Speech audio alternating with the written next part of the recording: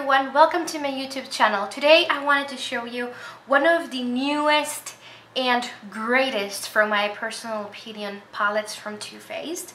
And it is the Country Nashville Nudes and this is how it looks like.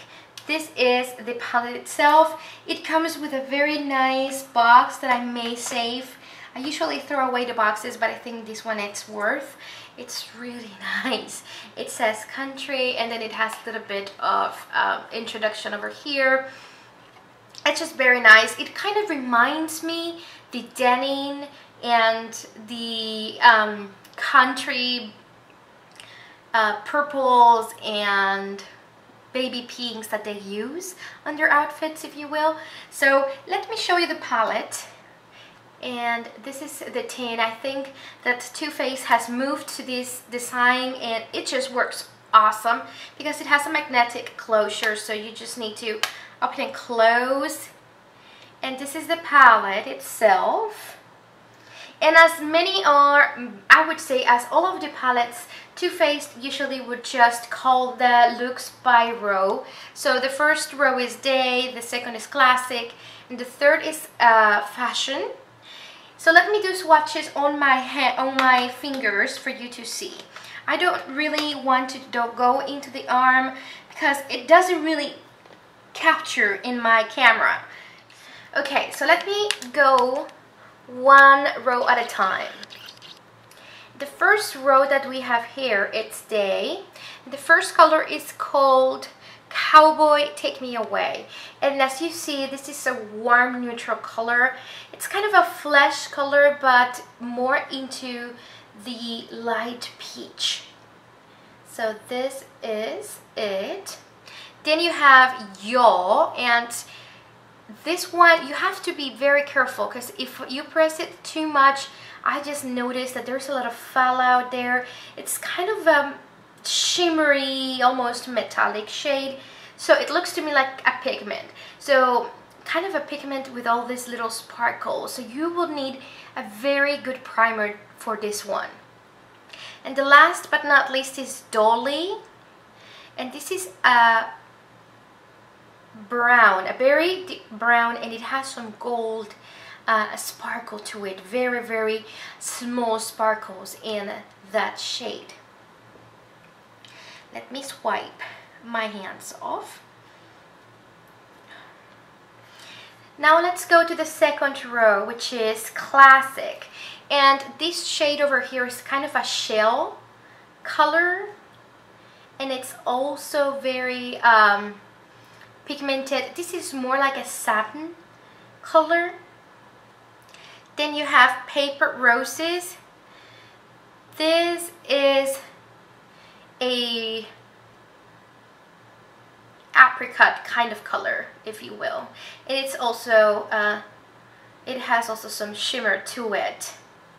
And the last but not least as well, it's Rhinestone and this is a little bit of a purpley brown it's kind of a purpley brown if you see this on camera it's a purpley brown that is more into the purple but I, I also see the undertone there now to the last row we have here All American Girl and this is a very shimmery off-white almost this is kind of a pearl white, sorry, pearl white, not off-white. This is a pearl white and it's also shimmery. Then you have Nashville.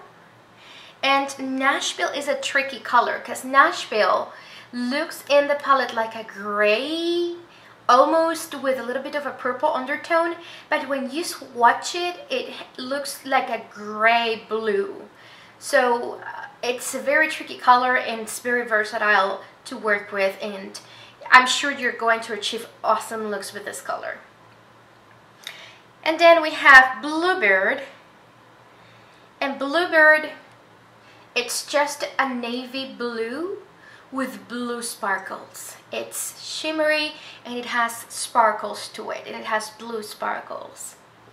So this is pretty much the palette. Um, I think you could kind of had a feeling of the colors by me swatching it on my fingers.